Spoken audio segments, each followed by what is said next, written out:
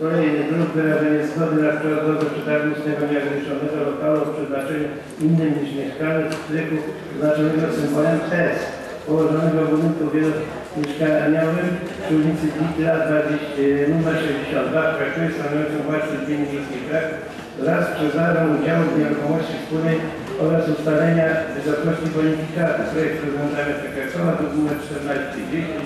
Pierwsze czytanie referuje Pani Dyrektor Witowicz. Opinia Komisji Spraw e, Mienia i Przedsiębiorczości pozytywna.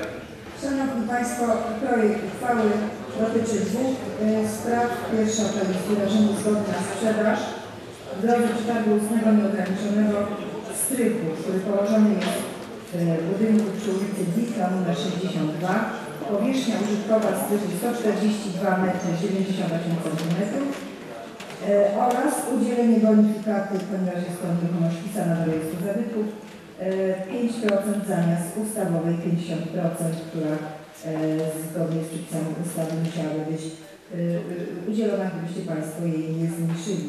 W związku z powyższym m, tutaj dlatego to e, ten projekt uchwały dotyczy zarówno wyrażenia zgody na sprzedaż, ustalenia tej mówiłam. E, budyn- e, Strych znajdujący się w budynku przy ulicy Witle 62 e, sprzedaż tego strychu uzyskała zgodę e, Małopolskiego Wojewódzkiego Konserwatora Zabytków, który zezwolił na zbycie tego strychu e, pod warunkiem umieszczenia w sprzedaży informacji o wpisie nieruchomości do rejestru zabytków. E, Również możliwość zagospodarowania tego strychu, co szczegółowo zostało określone w uzasadnieniu, wymaga przeprowadzenia zarówno, zarówno remontu częściowej zmiany konstrukcji liczby dachowych, e, również tutaj wymaganych zgodnie z ekspertyzą, która została wykonana czynności.